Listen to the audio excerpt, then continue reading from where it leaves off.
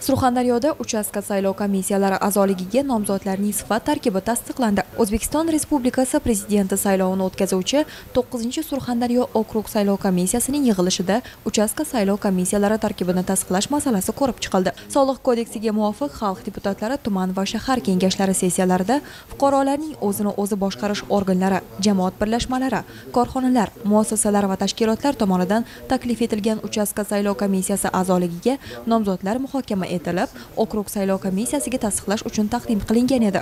Yig'ilishda to'qqizinchi surxondaryo okrug saylov komissiyasi raisi salohiddin sattorov shu haqda atroflicha fikr yuritib mavjud sakkiz yuz oltmishta uchastka saylov komissiyalari tarkibiy milliy qonunchiligimiz doirasida ko'rib chiqilgani haqida ma'lumot berdi. Shuningdek yig'ilishda uchastka saylov komissiyalari tarkibini tayyorlashda yo'l qo'yilgan kamchiliklarga e'tibor qaratildi. Barchamizga ma'lumki joriy yilning yigirma to'rtinchi oktyabr kuni o'zbekiston respublikasi prezidenti saylovi bo'lib o'tadi. Ushbu sana yaqinlashgan sari har birimiz zimmamizdagi mas'uliyatni yanada chuqurroq his qilyapmiz. Chunki bu saylov mamlakatimiz taqdirini ertangi kunimizni kelajagimizni belgilab beruvchi muhim siyosiy voqelikdir. O'zini shu yurtning farzandiman degan inson borki albatta bu jarayondan befarq bo'lmaydi. To'qqizinchi surxondaryo okrug saylov komissiyasining bugungi yig'ilishida ham saylov bilan bog'liq bir qator masalalar ko'rib chiqildi.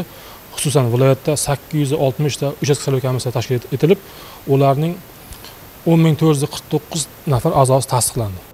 Viloyatdagi uchastka saylov komissiyalarida 10449 ta a'zo faoliyat yuritadi. Ularning olti ming yetti yuz to'qson nafari ilgari ham saylovlarda ishtirok etgan.